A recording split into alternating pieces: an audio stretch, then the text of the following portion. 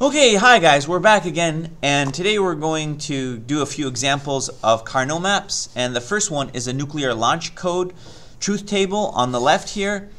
And so you can see we're going to go through how to make this. And uh, it's regard it's actually in association with a movie from 1983 called War Games, and a couple guys in a, a, a nuclear missile silo are about to launch missiles, and of course one of them doesn't comply. So we're changing the plot here a little bit, and we're gonna we're just gonna simply I'll have the URL to the video on YouTube uh, in the in the video description, and also it's uh, on my website. But essentially, we're only to require one person to turn the key, so that's very not realistic. And but we are going to require that the launch codes be correct in order to have a missile launch. So notice that on the launch side here for the truth table, which is the output, we're only ever going to get an, a launch happening if the codes are correct and one of the two people turn their key. So in other words, if the codes are wrong, it doesn't matter even if both persons, if people turn their keys, we're still not going to launch. As you can see, it's a zero. If one person, sorry, if the codes are right and none or one of them well, if none of them turn, then nothing happens. But if one of them turns their key, then it does launch. So we're now going to create the Karnaugh map for this, and it's over here on the right. So what I do is I go through each row on this table, and I'm, I'm going to make the Karnaugh map A slash BC. So A for the code, and B and C are the two keys. And then I simply copy this output with the correct um, input. So, for example, with this one, 1, 0, 1, if we go over here, 1, 0, 1, here's the output, and it's a 1. After doing that, we have to circle the prime implicants. Oh, by the way, I forgot to mention gray code. So along the top here, uh, you would think binary numbers would be 0, 0, 0, 1, and then of course, wait, is this backwards? 1, 1, 1, 0? Well, in binary, it's not the correct order, but this is not binary. We're going to use gray code. And in gray code, the rule is you can only change one bit at a time. So that means if you look here, that the way we're changing the bits, 0, 0, 0, 1, and now we can only change the left bit so that's 1, 1, and then we change the right bit, so that's 1, 0. So this is gray code here, and that's how the Karnaugh map is required to be. Once we fill in the outputs of the launch in the squares, we can now circle the prime implicants. Now prime implicants can only be circled in groups of 1, 2, 4, 8, powers of 2. And you also have to take the biggest prime implicant that you can. So in this case, I've circled these two and these two, and I've numbered them in uh, groups of 1 and 2. Now, let's scroll down a little bit, and you can see here that my number 1 is AC. So that's these two guys are asserted for A, and notice B changes from 0 to 1, so that doesn't count. But C is asserted with a 1, 1.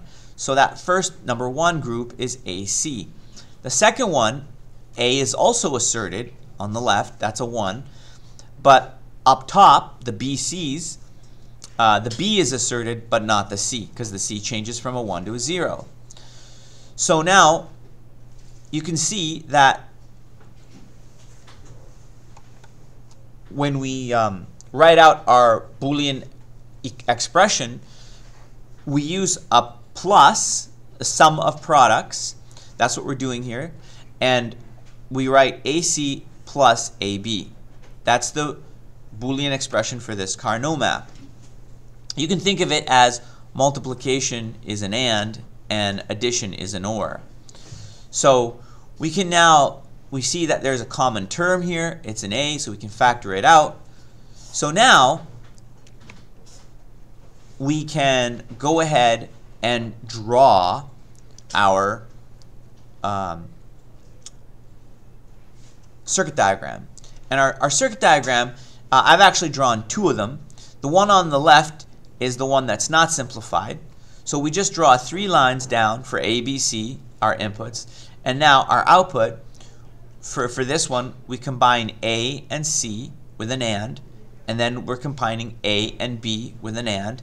And then, because it's added, we're ORing them into an OR gate. And we can do that, that, but it's equivalent if we factor out the A and simplify it. Here we have three gates. On the right, we have two gates. Because now, all we need to do is take C or B, put them into an OR gate, and then AND it with A. And you see, they're equivalent circuits, but obviously the one on the right is simpler because we're only using two, not three gates. And so that is the solution for the circuit required for the missile launch codes. Let's stop there. Okay, hi. So our second video here is uh, a Karnaugh map of a security system. We have our home, a home here, and we have a light sensor on top of the home, which uh, turns turns on or uh, returns true when there is light in the daytime, and returns zero at nighttime when it's dark. There's also a motion sensor here. The motion sensor returns true if there's motion, and it returns zero if there is no motion. There is also a switch inside the house which can turn on the light, and that's the output. So, in other words, we have three inputs. A is the switch inside the house. If you turn that on, the light should go on. The light sensor, the light sensor is on top of the roof, which sensors if it's day or night. And then there's the motion sensor. Now, we um, let's kind of scroll down here a little bit, and we can see that essentially, if it is so the zero, remember, counts as it's dark. If it is dark, which is nighttime, and there is motion for this second column or second row, we get output, so the light should turn on. If it is daytime, here on the fourth column, okay, so the switch is off, but it's daytime and there is motion, the light should not go on, okay?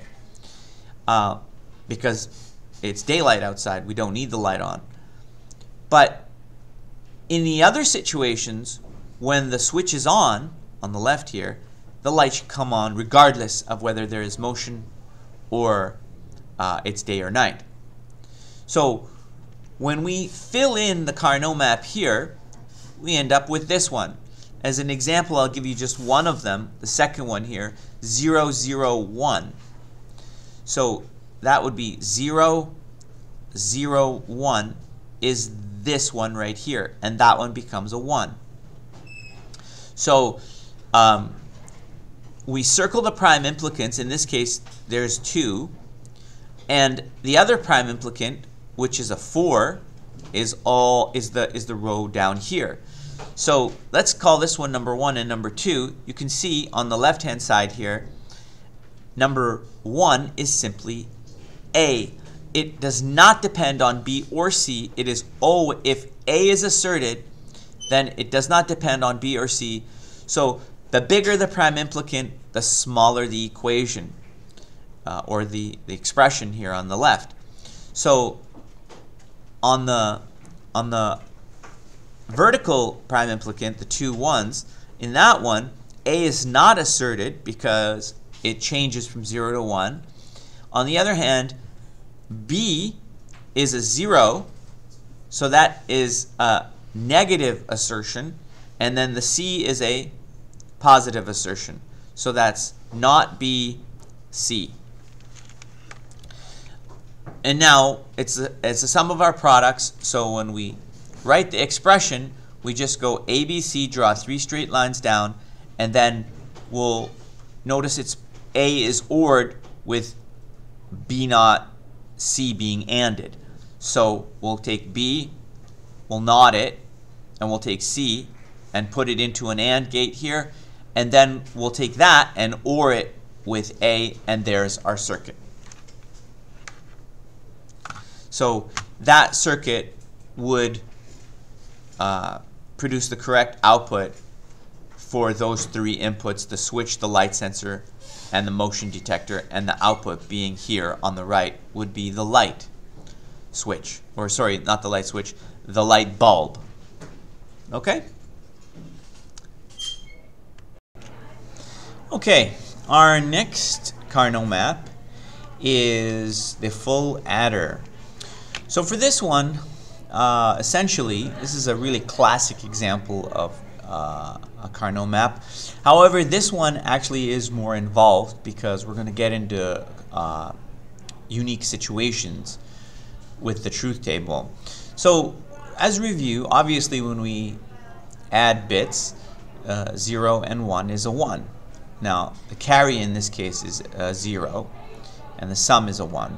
If we add a 1 and a 1, the carry is a 1, but the sum is 0, so the sum is on the right-hand side.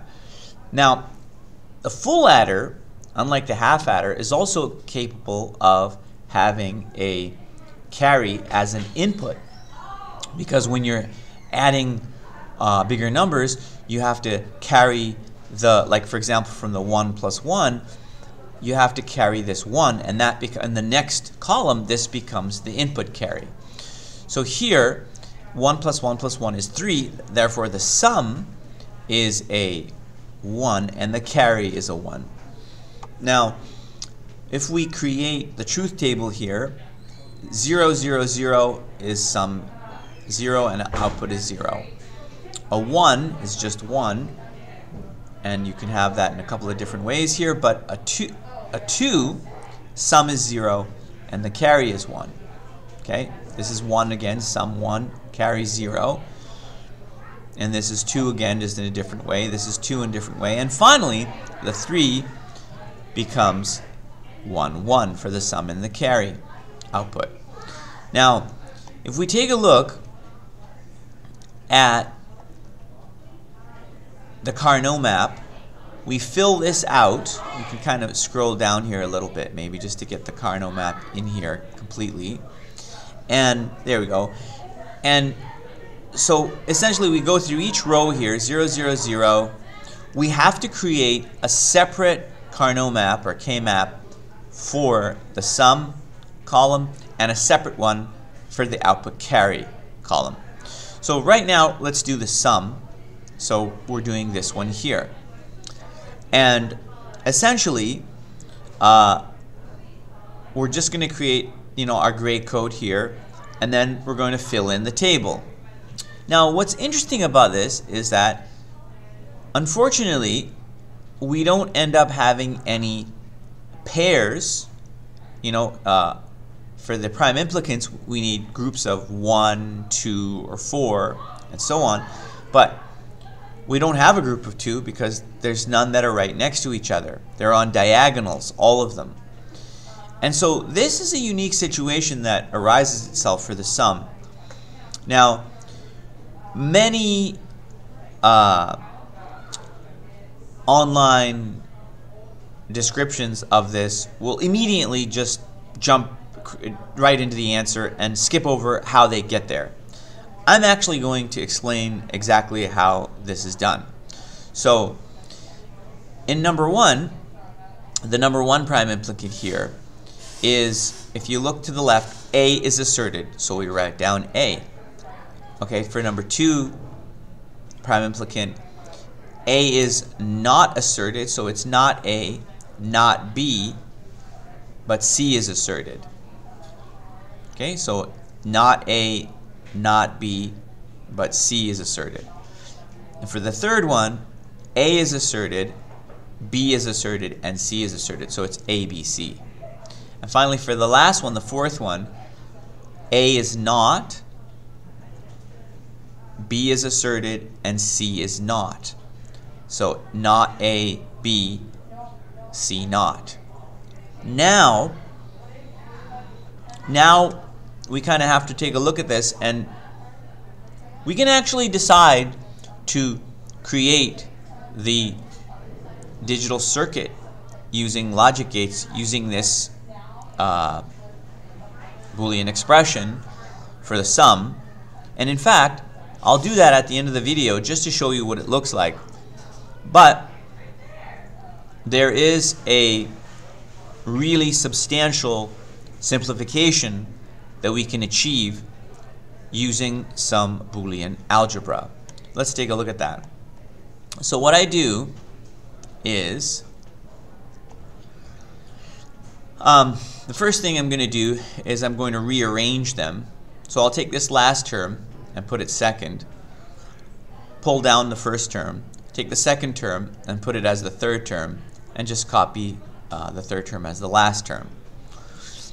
Now, this box here will be my number one simplification. As you can see, I can factor out a common factor, which is C naught. And when I do that, I get A B naught plus um, oops, hold on a second here. I think that's actually a mistake. Um, okay, so I fixed that. Uh, it should actually be, uh, let me just get my mouse back here. You, you could see it there that um, it in fact is uh, a not b. I had the, the, had the, the naught over the wrong variable there. It's a not b. So it's a b not a not b. I fixed it. You can see it in blue. So from, I mean, you can actually, some people can recognize this, but let's just go through this. Uh, this is actually an XOR, and I've, I've denoted that with the XOR uh, symbol here, a plus with a circle around it. So if we, if we, on the left-hand side here, right here, if we, if we look at the XOR, the XOR, of course, the output is only uh, true when the inputs are different. When the inputs are the same, the output is false. So when we make the Karnaugh map for the XOR, we'll notice that you get this Karnaugh map because 1 and 0 is 1 and 0 and 1 is 1 and 0 and 0 is 0 and 1 and 1 is 0. And this, in fact, then creates this Boolean expression. So that, that Boolean expression can be written or can be drawn in a circuit where you take A and B naught and you AND them because it's a sum of products and you take A naught and B and you AND them and then you OR the output. However, this can also be written as one logic gate as an XOR gate. And of course, the symbol, as I mentioned before, is here. So we can simply write now C naught multiplied by the XOR of A and B, or A XOR B. Now, let's take the second term here, which is added to the first term, A naught B naught C plus ABC. And of course, this also has a common factor of C, and we'll factor that out. And so we get A naught, B naught plus AB.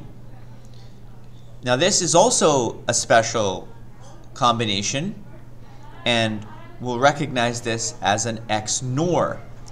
And again, over here on the left, I've got the side note of the XNOR.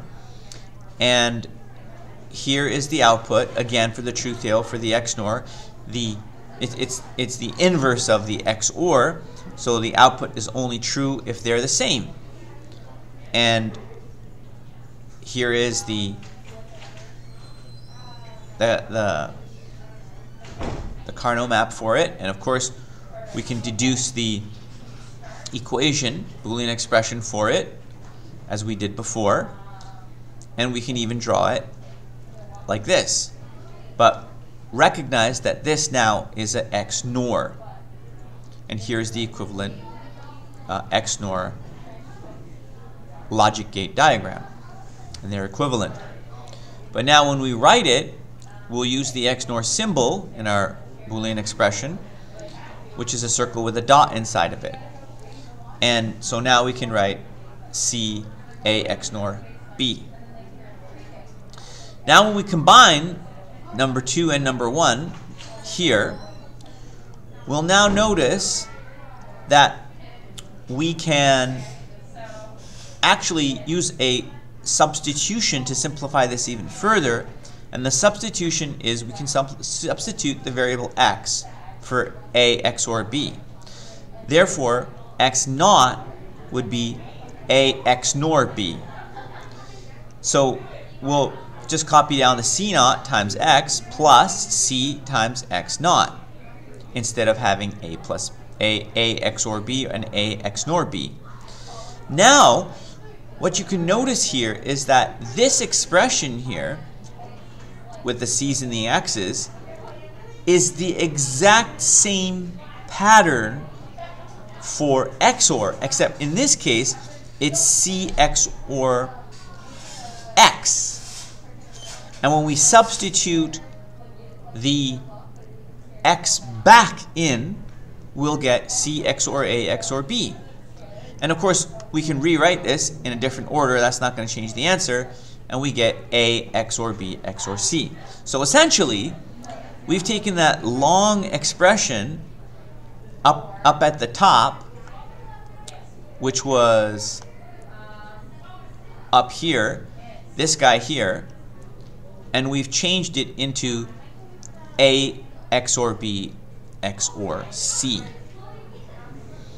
And of course, this is this is much simpler, not only to write but also to draw the circuit diagram, and we'll see uh, how much simpler it is in a little bit. Now that we've done the sum, we can now move on to the carry. So if you look back up at the top, and you can see all this uh, on my website, you can see the truth table again. We'll, it'll create this K-map, and using the prime, there's three prime implicants here. Remember, we can't circle three uh, ones, only one, two, four, eight, and so on. So we've got three pairs here, and it's AC, BC, and AB, and they're all asserted. There's no, uh, there's no uh, knots in there. So we can finish the diagram, and we'll end up having the, the diagram looks something like this, right? We'll draw A, B, C, and we'll draw three lines down. And this was the sum. This was really easy. A, XOR B, XOR C. And that's the sum. And now, for the carry, we got AC, BC, AB. AC, BC, AB, and they're all, it's the sum of products, so they're all ANDed, and then they're XORed. Now, sorry, did I say XOR? I meant ORed. Uh, the OR gate can actually take three inputs, okay? So we could replace these two OR gates with just one OR gate and have three inputs from the three AND gates. That is sufficient. However, there is a way, I mean, this is not wrong, it's correct, but there is a way to simplify it a little bit more. And so I wanted to show you that as well. So if we scroll down, we can simplify, and we just need a little bit of Boolean algebra here. We can simplify this term for the carry, and we need we need some uh, identities from Boolean algebra, namely a variable and its not, its inverse, right? A plus A naught, that's equal to 1, obviously. Okay? If you think about if you think about plussing, you're oring them, right? So whatever you have, if you take the inverse, it's always going to end up being 1. Um, now, here, what we're going to do is we're going to multiply the middle term, BC, by 1. Now, that doesn't change anything, okay? But what we can now do is multiply it out. So this becomes uh, ABC here, and this becomes A naught BC. So multiplying it out gives us this. Now what we're going to do is we're going to collect terms. We'll collect this term here, the ABC, put it on the left, and take the last term, AB, and put it second. The reason for this is because we can now factor out C, and notice there's a you can put a 1 here, and that's not going to change anything. So if we factor out a C plus 1, we multiply C times AB, you get ABC, and 1 times AB is AB.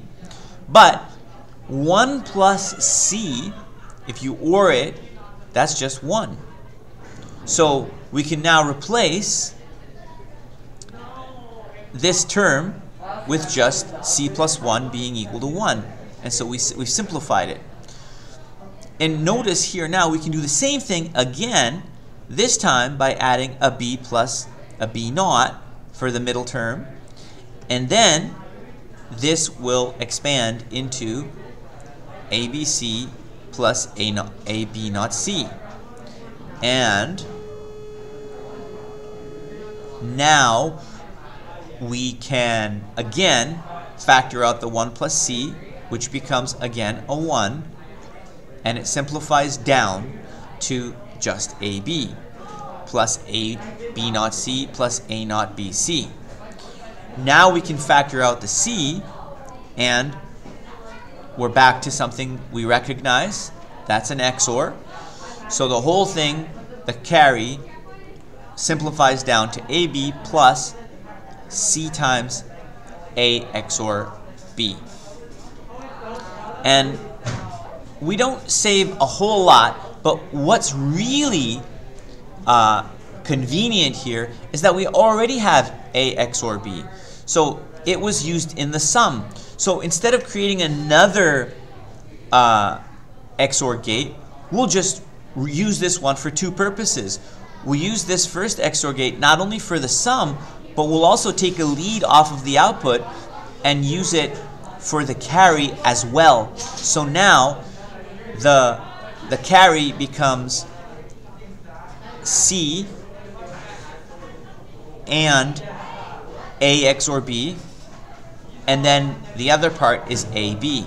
And there it is. AB is ANDed together. And now, since they're added, we OR them together and we get the carry. And this, what you're looking at here, these five gates, is the simplest form of the full adder. However, just so that you could see what happens when we don't do simplifications, I wrote down the equation here for the initial sum and the initial carry, and I drew everything out. Now granted, we could simplify it by combining all the three OR gates into one OR gate. Uh, and Logisim is a great uh, software to use to to um, to like simulate this. And and I've got this dotted red line here separating from my carry. And again, we can combine those two OR gates as well. But nonetheless, you can see that this is a lot more work. It's a lot more. It's a lot more gates and um, this, these five gates up here is a much simpler way of doing the full adder. So uh, thanks for watching, and uh, that's the end of my Karnaugh Math video.